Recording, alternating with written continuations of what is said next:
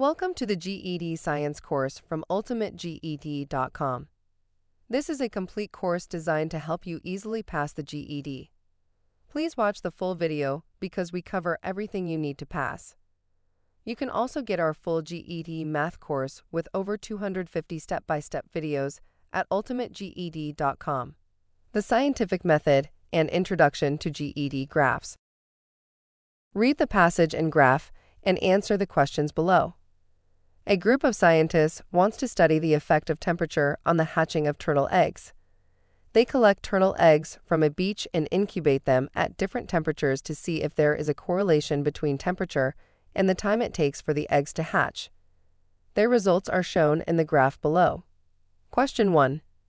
Which step of the scientific method involves collecting turtle eggs from a beach and incubating them at different temperatures? A. Observation. B. Hypothesis. C. Experimentation. D. Conclusion. To answer questions like this, you need to be familiar with the scientific method. You can check out a full lesson on the scientific method on ultimateged.com. The scientific method is a systematic approach used by scientists to investigate natural phenomena and acquire new knowledge. The method involves making observations about a natural phenomenon, forming an hypothesis, that is, formulating a testable explanation or prediction based on the observations, designing and conducting experiments to test the hypothesis, analyzing and interpreting the data obtained from the experiments, and drawing a conclusion based on the results. Please note that there are different variations of these steps, but the idea is always the same.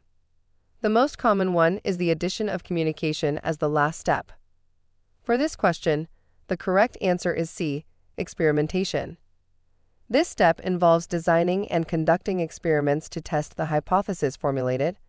In this case, the scientists are manipulating the temperature of the eggs to determine if it has an effect on the time it takes for them to hatch.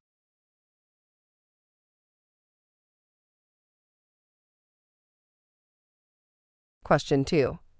What is the independent variable in the study of the effect of temperature on the hatching of turtle eggs? A. Time to hatch. B. Temperature. C. Type of turtle. D. Location of beach. The correct answer is B. Temperature. To be good in this section of the GED, you must be able to identify the dependent and independent variables.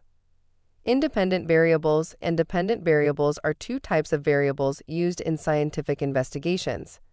The independent variable is the variable that is manipulated or changed by the experimenter to observe its effect on the dependent variable.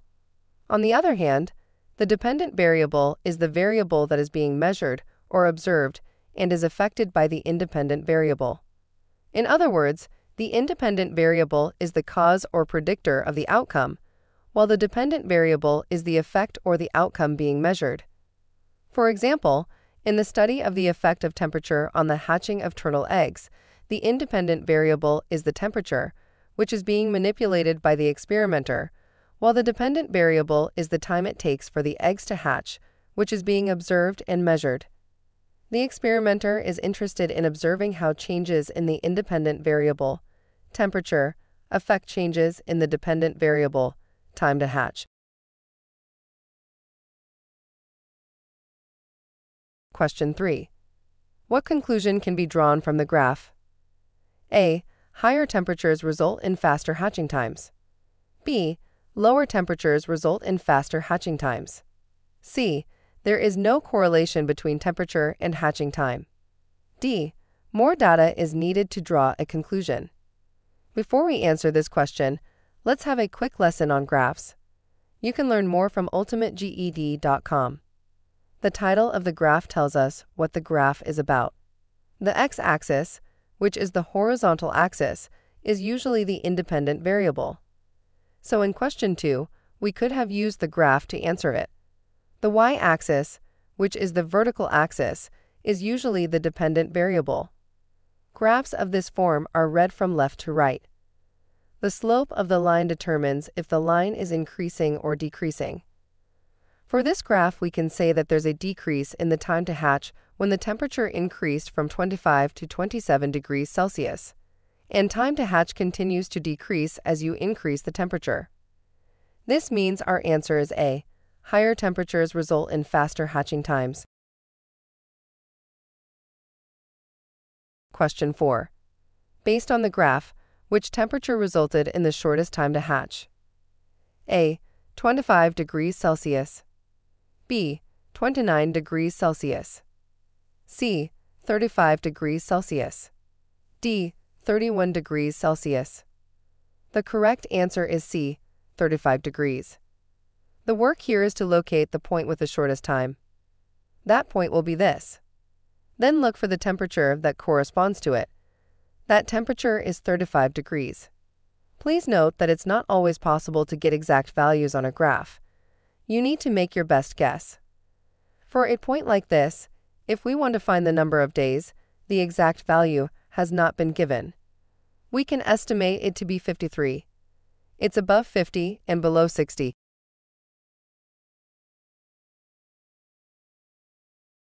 Lesson 2 Units, Measurements, and Conversions. Question 5. A car is traveling at a speed of 60 miles per hour.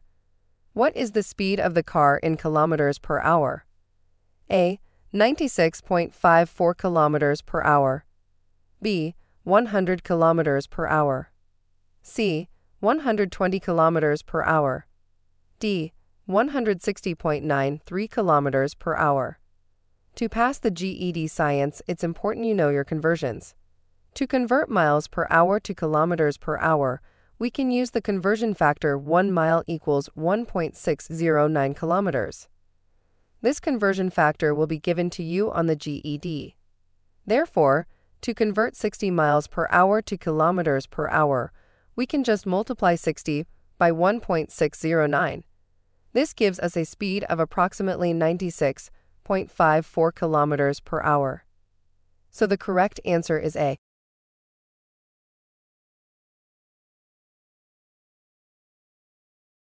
The table below shows the temperature in degrees Fahrenheit from Monday to Sunday of a small town on the East Coast. Use the table to answer the following question. Question 6.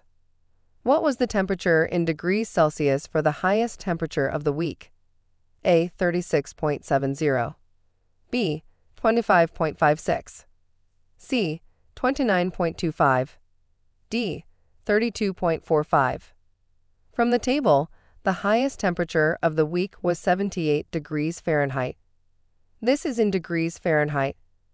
However, we are supposed to calculate it in degrees Celsius. The formula is stated above as temperature in degrees Celsius equals temperature in degrees Fahrenheit minus 32 times 5 over 9. Temperature in degrees Celsius equals 78 minus 32 times 5 over 9. 78 minus 32 is 46, so we have 46 times 5 over 9. We can work this out on the calculator to get 25.56. The answer is therefore option B, 25.56 degrees Celsius.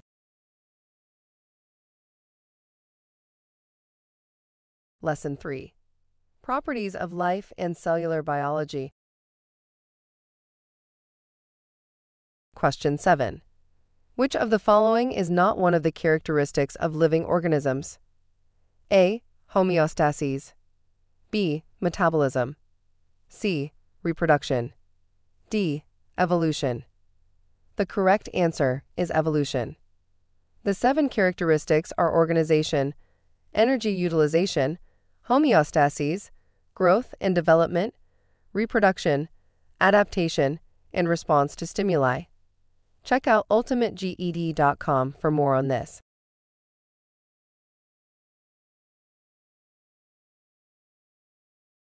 Question 8. Which of the following best describes the relationship between the characteristics of living organisms and the properties of life? A. The seven characteristics are distinct from the properties of life. B. The seven characteristics are examples of the properties of life. C. The seven characteristics are unrelated to the properties of life. D. The properties of life are only relevant to non living matter. The correct answer is B the seven characteristics are examples of the properties of life. These properties of life and the characteristics of living organisms are often confused and mostly interchanged. There is a difference. The properties of life is what all living organisms have.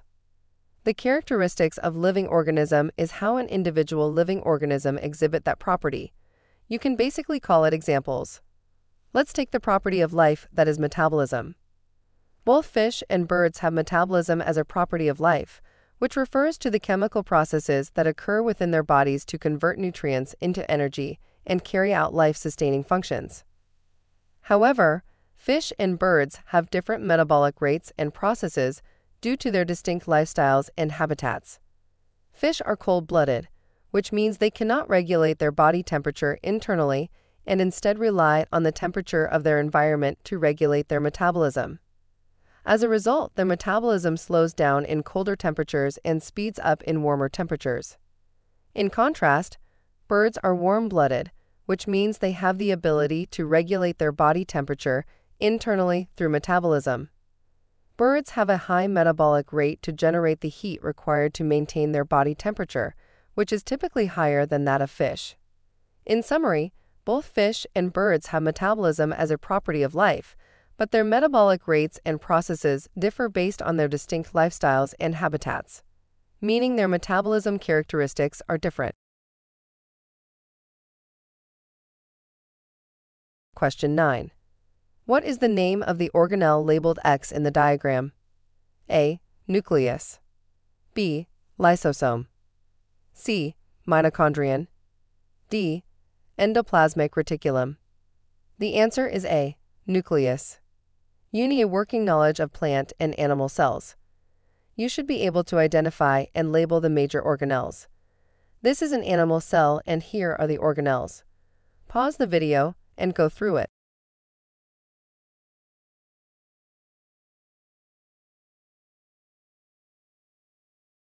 Question 10. What is the function of the cell membrane? A. To store genetic information. B. To support the cell structure. C. To protect the cell from pathogens.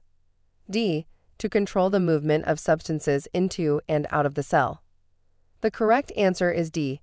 To control the movement of substances into and out of the cell. For the GED, you are expected to know the functions of the organelles. Please don't spend too much time memorizing them. You just need a good idea of what they are.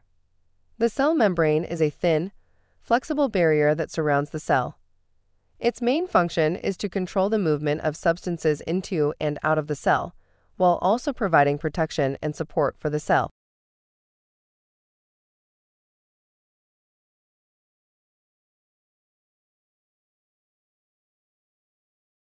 Question 11. Which of the following cell types is responsible for producing antibodies to fight infections? A. Red blood cells. B. White blood cells. C muscle cells. D. Nerve cells. The correct answer is B. White blood cells. White blood cells, also known as leukocytes, are responsible for producing antibodies to fight infections. Antibodies are proteins that recognize and bind to foreign substances, such as viruses or bacteria, and mark them for destruction by other cells of the immune system. Red blood cells, A, do not have a nucleus and are not involved in immune responses. They are responsible for carrying oxygen from the lungs to the body's tissues. Muscle cells, C, are specialized cells that are involved in movement and do not have a role in producing antibodies. Nerve cells, D, are specialized cells that are involved in transmitting signals throughout the body and do not have a role in producing antibodies.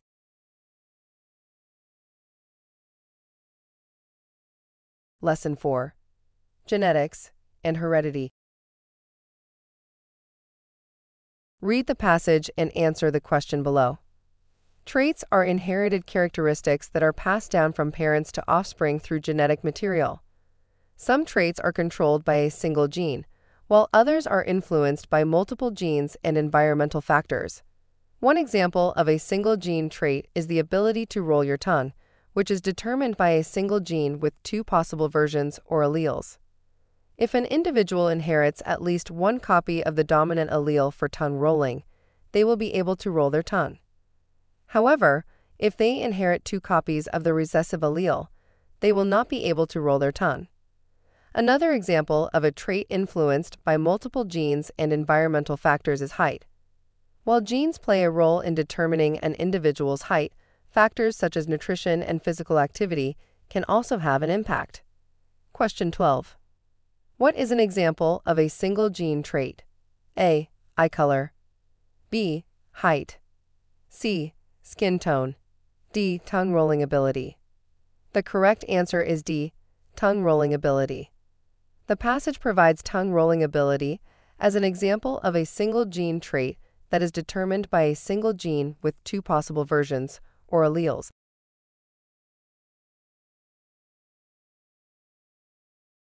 Question 13. If one parent is heterozygous for tongue rolling ability and the other parent is homozygous recessive for this trait, what is the probability that their offspring will be able to roll their tongue? A. 0%. B. 25%. C. 50%. D. 75%. The correct answer is C. 50%. Since genetics is a very important topic on the GED science, let's spend some time learning how we got the 50%. When we talk about genetics, we use the terms heterozygous, homozygous dominant, and homozygous recessive to describe the different possible genotypes for this trait. Heterozygous refers to having two different alleles for a particular gene. In the case of tongue rolling ability, the dominant allele determines the ability to roll the tongue, while the recessive allele results in the inability to roll the tongue. Therefore, an individual who is heterozygous for tongue rolling ability would have the genotype, indicating that they have one copy of the dominant allele and one copy of the recessive allele. Homozygous dominant refers to having two identical copies of the dominant allele. In the case of tongue rolling ability, an individual who is homozygous dominant would have the genotype, indicating that they have two copies of the dominant allele and are able to roll their tongue. Homozygous recessive refers to having two identical copies of the recessive allele. In the case of tongue rolling ability, an individual who is homozygous recessive would have the genotype, indicating that they have two copies of the recessive allele and are unable to roll their tongue. Now, let's use this information to answer the question. If one parent is heterozygous for tongue rolling ability, let's say the father, and the other parent is homozygous recessive, let's say the mother, we can use a Punnett square to determine the possible genotypes and phenotypes of their offspring. Here is an example Punnett square for this cross. Let's put the father's genotype here. Let's put the mother's genotype here. You can interchange them. It won't make a difference. The first section will be the dominant R and recessive R. We got that because of this R here and this R here. We do that for the next section. This and this will give us a dominant R and a recessive R. We go to the third section. We have two recessive R. This is because of this R and this R. Then we fill up the last section. Same idea. We have two recessive R. If the offspring is heterozygous or homozygous dominant, they will be able to roll their tongue. Here we have two possibilities of heterozygous. This is out of four tonal possibilities. This is 2 over 4, which can be reduced to 1 over 2. This is the same as 50%.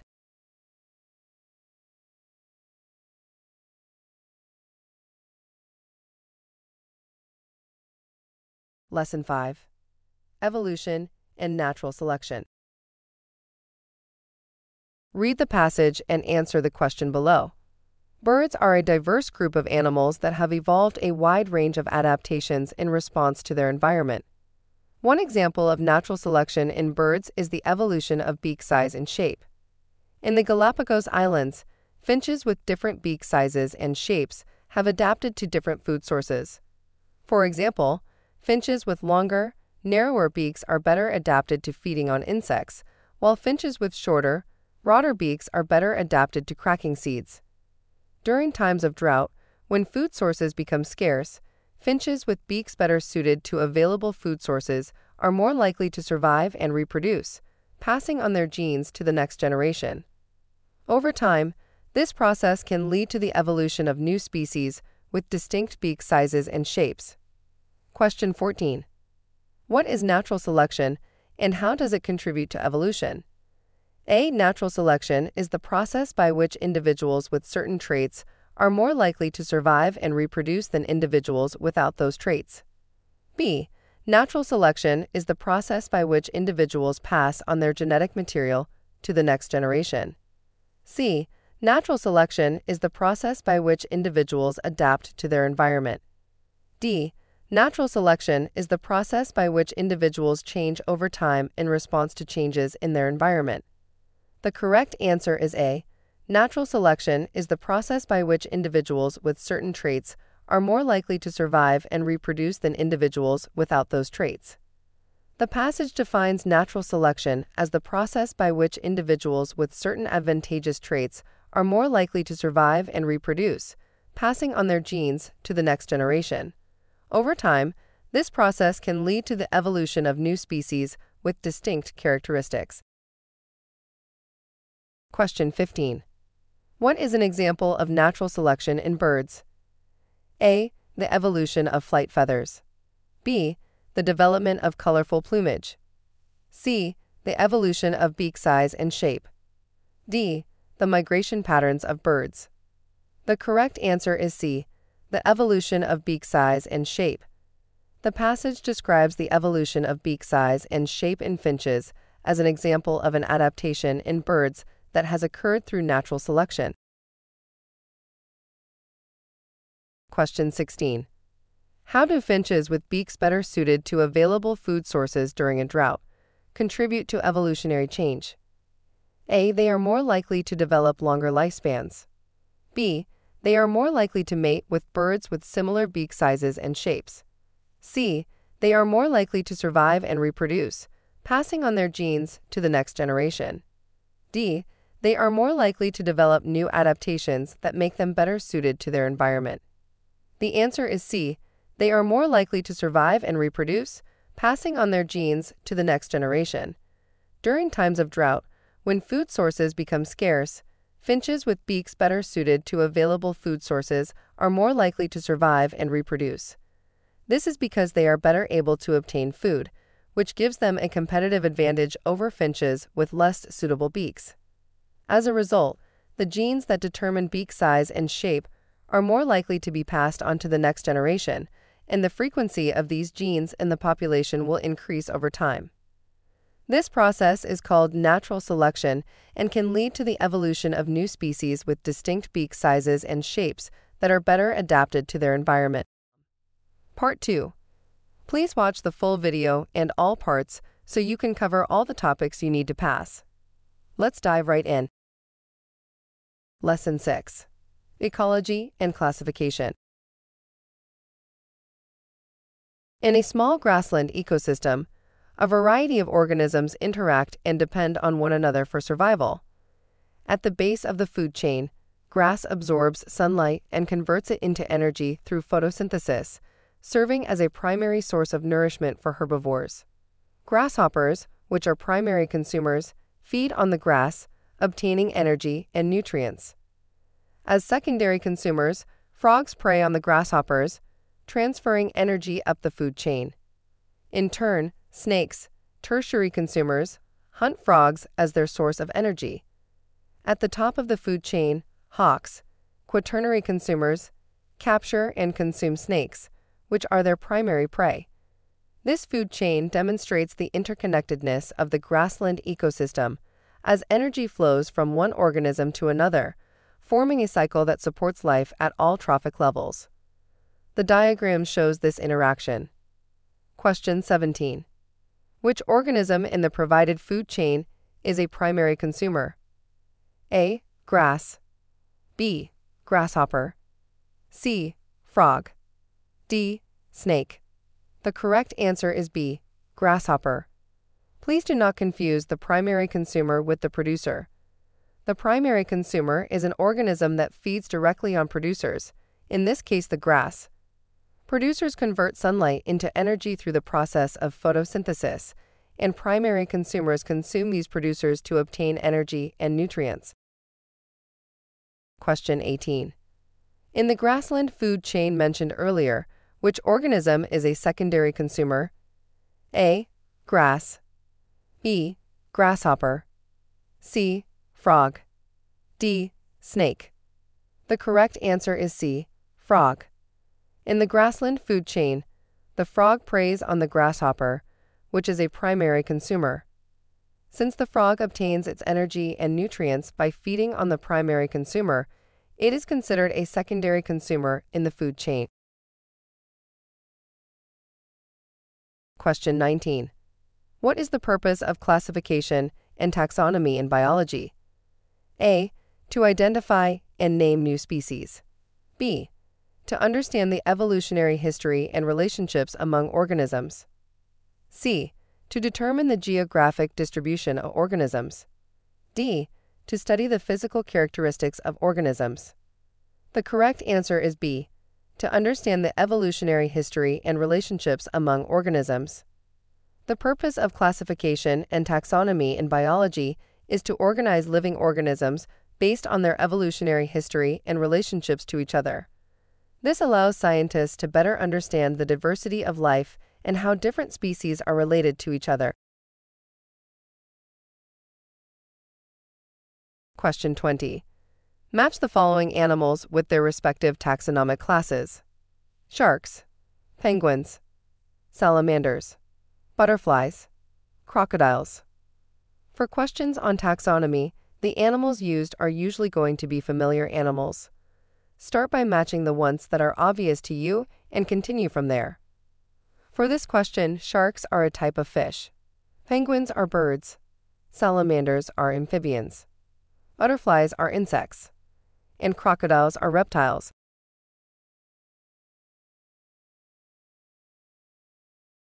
During a field trip to a local pond, students observed and identified various organisms belonging to different taxonomic groups.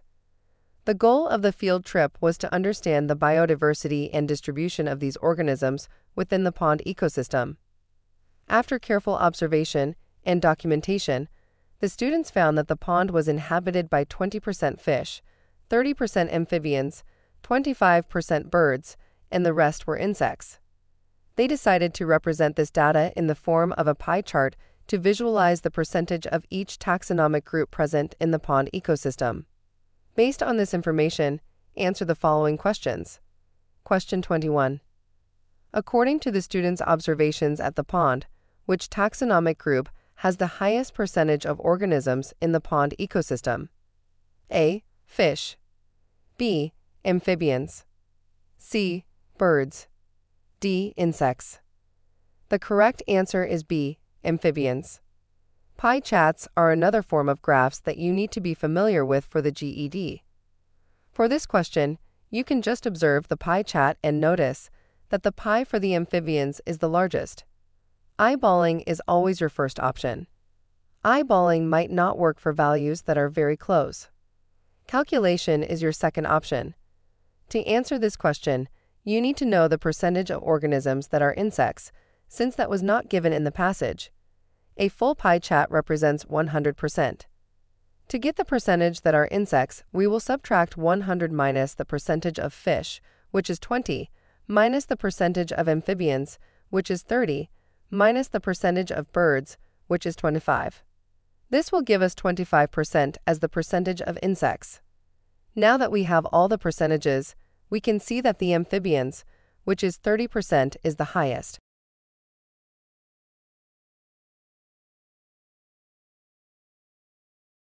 Question 22.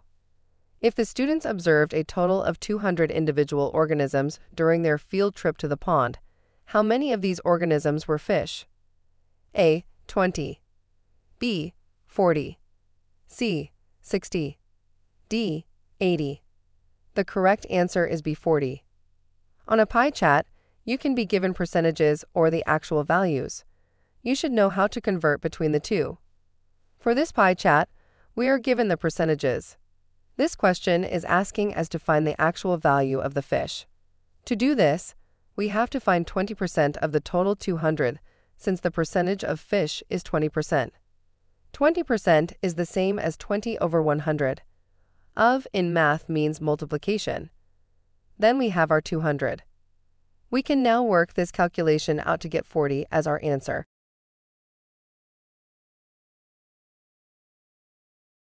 Read the passage and answer the questions below. In the tropical rainforest, a diverse array of species exist in a complex food web. At the base of the food chain are primary consumers, such as insects and rodents, which feed on plants and other vegetation. These primary consumers are in turn eaten by secondary consumers, such as birds and small mammals. Finally, there are tertiary consumers, such as large cats and snakes, which feed on the secondary consumers.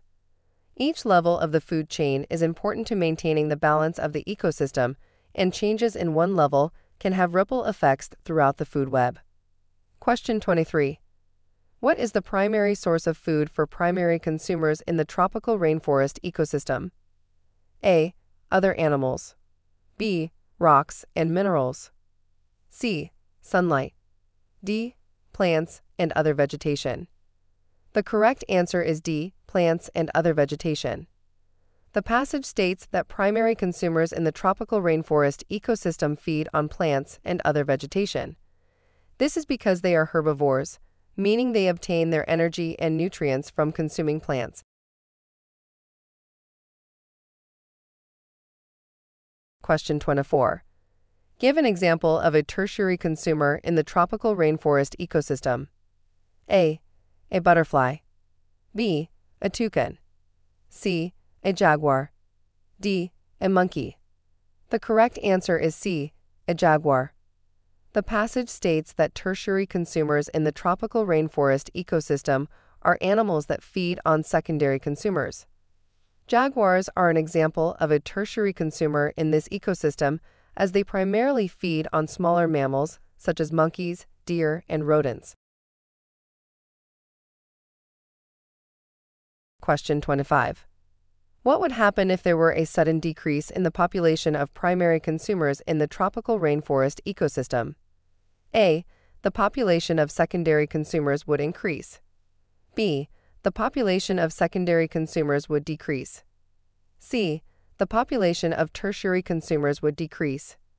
D. The ecosystem would not be affected. The correct answer is B. The population of secondary consumers would decrease. The passage explains that each level of the food chain is important to maintaining the balance of the ecosystem, and changes in one level can have ripple effects throughout the food web. If the population of primary consumers were to suddenly decrease, there would be less food available for the secondary consumers that rely on them for food. This would likely result in a decrease in the population of secondary consumers.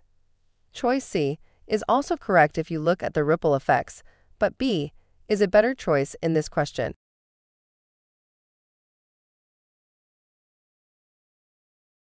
Lesson 7 Human Anatomy, Physiology, and Health. Question 26. What is the function of the circulatory system? A. To transport oxygen and nutrients to cells and remove waste products. B. To control movement and support the body. C. To exchange gases with the environment. D. To provide structure and protection for the body. The correct answer is A to transport oxygen and nutrients to cells and remove waste products. To pass the GED, you'll need an idea of what the organ systems are. The circulatory system is responsible for transporting oxygen and nutrients to cells and removing waste products, such as carbon dioxide, from the body. Other organ systems are Respiratory system. This system is responsible for bringing oxygen into the body and removing carbon dioxide. Digestive system. The digestive system processes food and extracts nutrients from it. Nervous system. This system controls and coordinates the body's responses to internal and external stimuli. Endocrine system. The endocrine system produces and releases hormones that regulate various bodily functions. Muscular system. This system allows the body to move and maintain posture. Skeletal system. The skeletal system provides support for the body and protects internal organs. Integumentary system. This system is responsible for protecting the body from external damage and regulating temperature. Question 27. What is the role of the respiratory system? A. To break down food and absorb nutrients. B. To eliminate waste products from the body. C. To transport oxygen and nutrients to cells. D. To exchange gases with the environment. The correct answer is D. To exchange gases with the environment. The respiratory system is responsible for exchanging gases with the environment, specifically oxygen and carbon dioxide. Oxygen is brought into the body and carbon dioxide is removed. Question 28. What is the difference between voluntary and involuntary muscles? A. Voluntary muscles are only found in the arms and legs, while involuntary muscles are found in the internal organs. B. Voluntary muscles are controlled consciously, while involuntary muscles are controlled automatically by the nervous system. C. Voluntary muscles are found in the heart, while involuntary muscles are found in the limbs. D. Voluntary muscles are responsible for maintaining posture, while involuntary muscles are responsible for movement. The correct answer is B. Voluntary muscles are controlled consciously, while involuntary muscles are controlled automatically by the nervous system. Voluntary muscles are under conscious control, meaning that they are controlled by the brain and can be moved at will. Involuntary muscles, on the other hand, are controlled automatically by the nervous system and cannot be consciously controlled. Question 29. What is the function of the immune system? A. To transport oxygen and nutrients to cells and remove waste products. B. To control movement and support the body. C. To exchange gases with the environment. D. To defend the body against pathogens and foreign substances. The correct answer is D. To defend the body against pathogens and foreign substances. The immune system is responsible for defending the body against pathogens, such as viruses and bacteria, and foreign substances, such as toxins and allergens. Question 30. What is the difference between a virus and a bacterium? A. Viruses are larger than bacteria. B. Bacteria can reproduce outside of a host organism, while viruses cannot. C. Bacteria are the cause of all infectious diseases, while viruses are not harmful to humans. D. Viruses are only found in animals, while bacteria are found in all living organisms. The correct answer is B. Bacteria can reproduce outside of a host organism, while viruses cannot.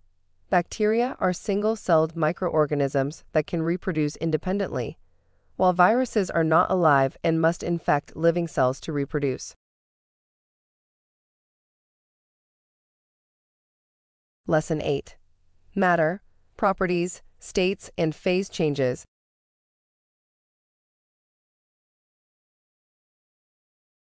Question 31. The information below describes the properties of two substances. Which substance is denser? Substance A is 20 grams and has a volume of 10 centimeter cubed. Substance B is 15 grams and has a volume of 5 centimeter cubed. A. Substance A. B. Substance B. C. Both substances have the same density. D. Cannot be determined from the information given. Density is calculated by dividing the mass of a substance by its volume. Therefore, the density of substance A is 20 grams divided by 10 centimeters cubed. This is equal to 2 grams per centimeter cubed. The density of substance B is 15 grams divided by 5 centimeter cubed. This will be equal to 3 grams per centimeter cubed. Since B is greater than A, it means substance B is dense than substance A. So the correct answer is B. Question 32. What is the phase change that occurs when a solid becomes a gas? A. Condensation. B. Melting. C. Freezing. D. Sublimation. The correct answer is D. Sublimation. Sublimation is the phase change that occurs when a solid changes directly to a gas without first becoming a liquid. Examples of substances that undergo sublimation include dry ice, that is solid carbon dioxide, and mothballs, that is solid naphthalene. Let's look at what the other things mean. It's important to know them. Condensation is the phase change in which a gas turns into a liquid. Melting is the phase change in which a solid turns into a liquid. Freezing is the phase change in which a liquid turns into a solid. Question 33. Which of the following is an example of a physical property of matter? A. Flammability. B. Reactivity. C. Density. D. pH. The correct answer is C. Density. Physical properties of matter are characteristics that can be observed or measured without changing the composition of the substance. Examples of physical properties include density, color, texture, and melting point. Flammability, reactivity, and pH are examples of chemical properties, which describe how a substance interacts with other substances to form new substances. Thanks for joining us for part 3 of our GED Science course from ultimateged.com. Part 3 and Part 4 will have most of our GED Science calculations. Let's dive right in. Lesson 9 Atomic Theory, Structure, and the Periodic Table. The table and the corresponding graph displays various properties of selected elements. The table lists the atomic number and number of protons of each element, while the graph displays the electronegativity values of the elements. Use these to answer the following questions. Question 34. Which of the statements below is true? A the atomic number is equal to the number of electrons in the atom. B. The atomic number is equal to the number of neutrons in the atom. C. The atomic number is equal to the sum of the number of protons and neutrons in the atom. D. The atomic number is equal to the number of protons in the atom. Some GED science questions requires the use of multiple data points, like two graphs or a graph and a table combined to get your answers. That's what we are looking at here. The correct answer is D. The atomic number is equal to the number of protons in the atom. This first question is pretty straightforward. We can see from the table that the atomic number is always the same as the number of protons.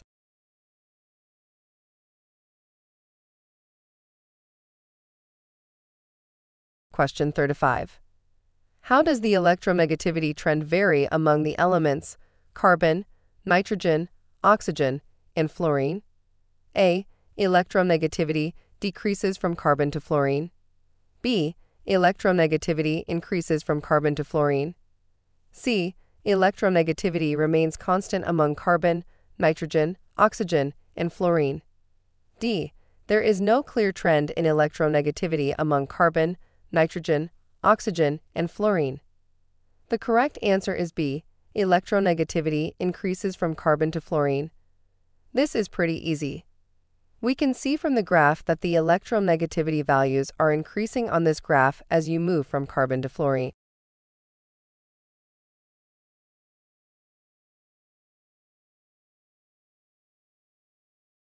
Question 36. Which of the following is true about elements in the same group on the periodic table? A. They have similar atomic masses. B. They have similar electronegativities. C. They have the same number of electrons. D. They have similar chemical properties. The correct answer is D. They have similar chemical properties.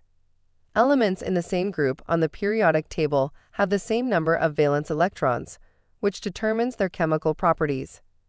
Valence electrons are simply the electrons in the outermost shell or energy level of an atom. For example, Elements in group 1, such as lithium, sodium, and potassium, all have one valence electron and are highly reactive with other elements. From these images, you can see that although these elements have different number of electrons, they all have just one electron on the last shell. Please check out ultimateged.com for more lessons on the atomic structure. Question 37. Which of the following subatomic particles are typically found in the nucleus of an atom? Proton, neutron, electron. The correct answer is proton and neutron. In the previous question, we used a simple diagram to represent an atom because we only cared about the shells. This diagram here is a better representation of an atom. Both protons and neutrons are typically found in the nucleus of an atom. Protons have a positive charge, while neutrons have no charge, they are neutral. Electrons, on the other hand, are not found in the nucleus but orbit around it in energy levels or shells.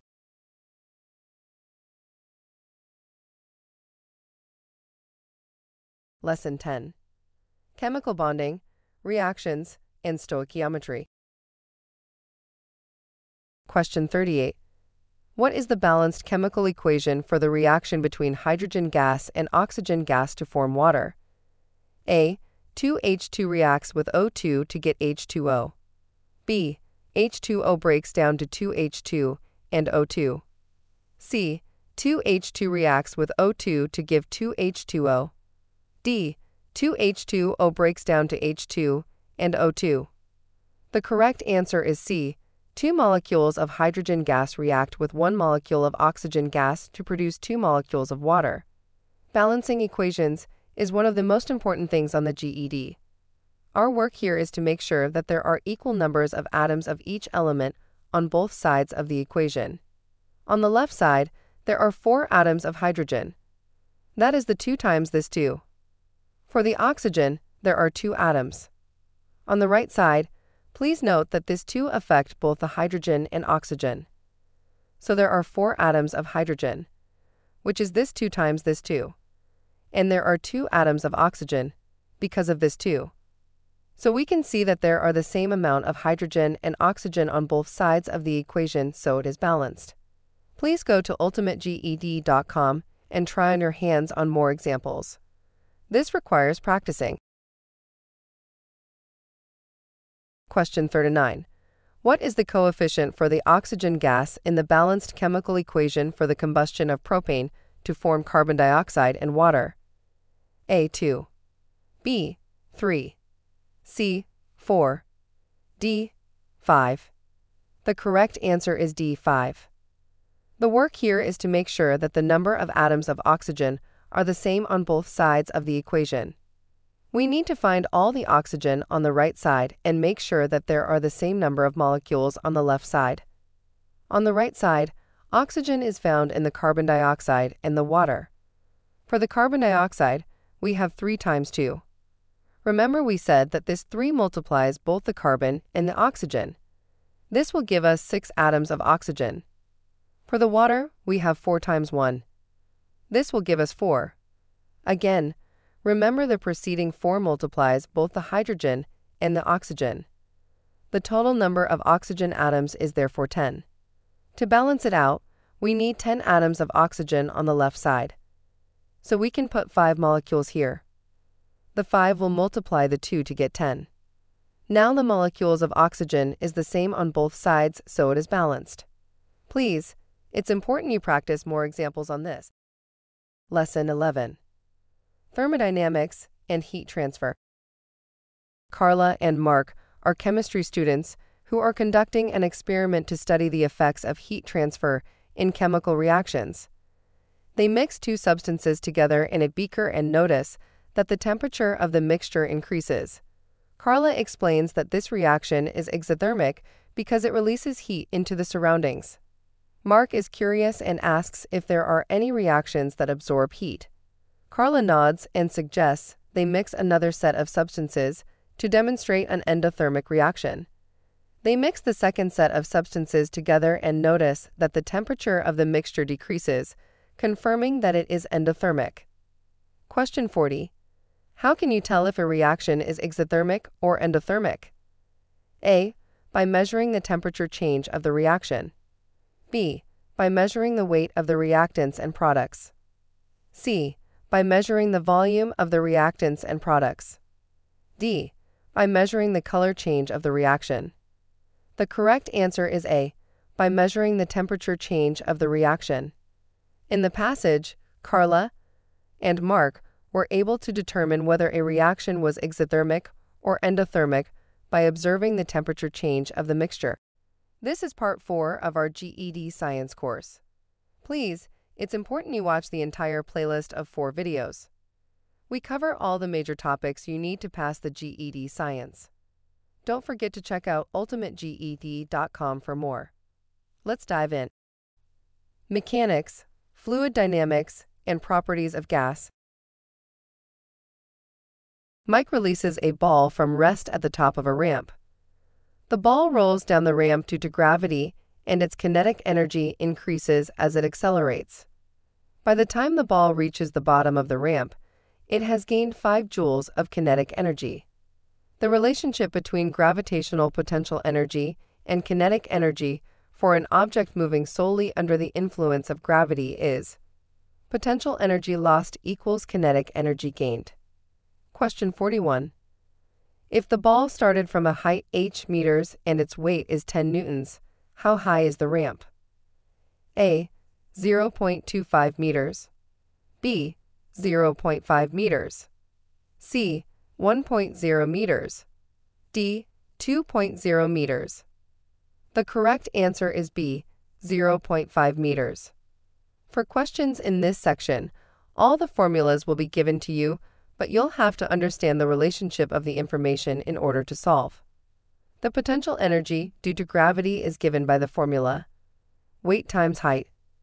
So to find the height, we need to know the weight and the potential energy. The weight has been given to us as 10 newtons. The potential energy has not been given to us. However, the kinetic energy gained has been given to us as 5 joules. We know that the potential energy lost is the same as the kinetic energy gained. So the potential energy will also be 5 joules. We have 5 equals 10 times h. We can now solve for h. Divide both sides by 10. The 10 will cancel out. 5 divided by 10 is 0.5. So the height is 0.5 meters. Question 42. A container holds a fixed amount of an ideal gas. If the pressure of the gas in the container is doubled while keeping the volume and number of moles constant, what happens to the temperature of the gas? The ideal gas law is PV equals nRT, where P is pressure, V is volume, N is the number of moles, R is the gas constant, and T is temperature. A. It remains the same. B. It is halved. C. It doubles. D. It quadruples. The correct answer is C. It doubles. Please do not overthink on GED calculation questions or questions like this. They are usually designed to test your ability to recognize patterns and relationships and accurately interpret and use formulas. For this question, all we have to keep in mind is that it is an equation. To keep it equal, whatever you do to one side must be done to the other side. We are told that the pressure is doubled, so we can multiply pressure by 2. To balance the equation, we have to multiply something on the right side by 2. We are told that the volume and number of moles are constant, so we cannot do anything to it. R is also a constant. It is the gas constant. To balance it, we can only multiply the temperature by 2. This means that the temperature doubles. Lesson 13 Waves, Electricity, and Magnetism. Question 43. A sound wave has a frequency of 500 Hz and a wavelength of 0.68 meters. What is the speed of sound in meters per second? A. 340 meters per second. B. 500 meters per second. C. 680 meters per second. D. 850 meters per second. The correct answer is A. 340 meters per second.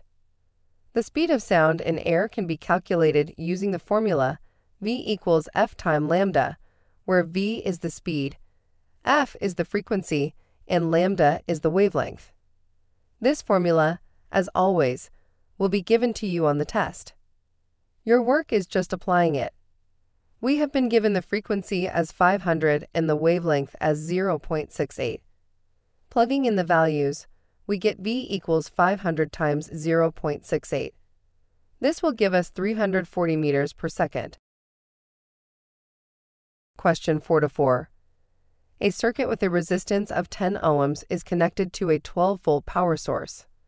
What is the current flowing through the circuit? A. 0.12 amperes. B. 1.2 amperes. C. 12 amperes. D.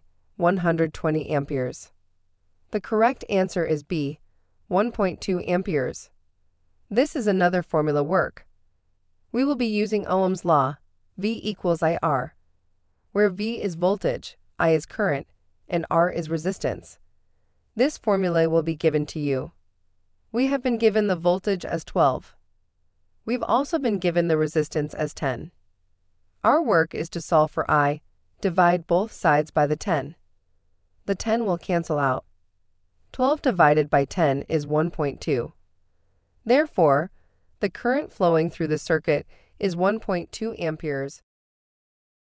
Lesson 14 Earth and Space Science In the desert of the American Southwest, a stunning geological feature draws scientists and tourists alike. This feature, known as the Red Rock Canyon, showcases layers of sedimentary rock predominantly sandstone, that have been sculpted by wind and water over millions of years.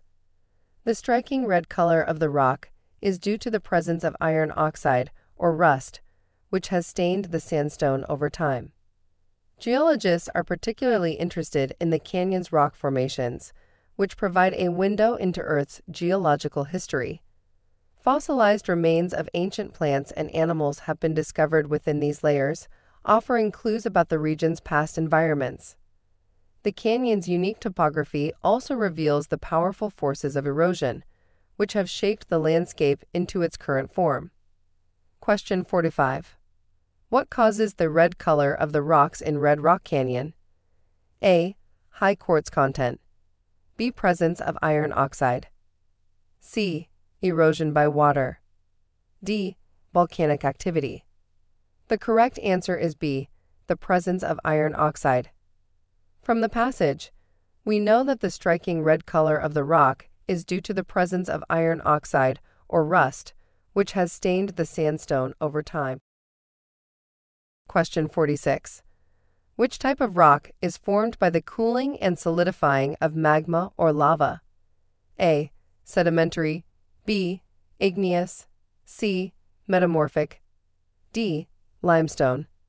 The correct answer is B, igneous rocks. Igneous rocks are formed from the solidification and cooling of magma or lava. Common examples are granite and basalt. It's important you know the other types of rocks. Sedimentary rocks. These are formed from the accumulation or deposition of mineral and organic particles, often in water bodies like rivers, lakes, and oceans. An example is sandstone and shale. Metamorphic rocks. These rocks are formed from the transformation of existing rock types in a process known as metamorphism, which means change in form. Examples include slate, formed from shale, and marble, formed from limestone. Limestone, this is actually a specific type of rock, typically a sedimentary rock, rather than a category of rock. Limestone is primarily composed of the mineral calcite, calcium carbonate, and forms largely in aquatic environments from the accumulation of shells, coral, algae, and other organic materials. Question 47. Which of the following planets is known as the red planet due to its reddish appearance? A. Venus. B. Mercury. C. Mars. D. Jupiter. The correct answer is C, Mars. Mars is commonly referred to as the red planet because of its distinct reddish hue. This coloration is due to the presence of iron oxide, or rust, on its surface.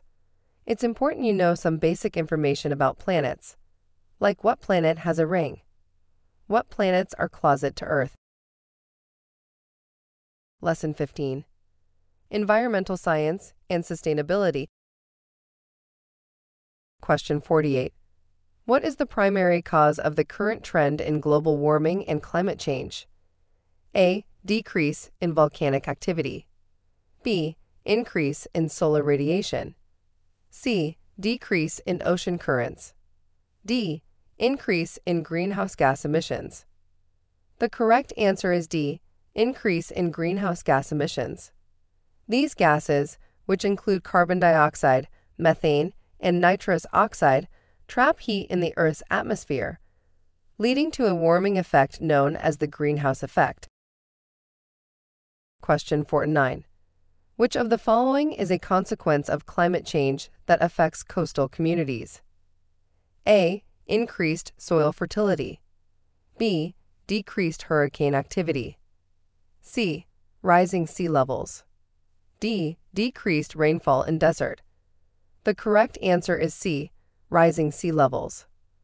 As global temperatures rise, polar ice caps and glaciers melt, contributing to higher sea levels. Additionally, the warming of the ocean leads to thermal expansion of water, further elevating sea levels. This results in increased coastal erosion, flooding, and can even lead to the displacement of communities. It also threatens important ecosystems such as mangroves and coral reefs. Question 50. Sustainable development primarily aims to A. Maximize short-term economic growth B.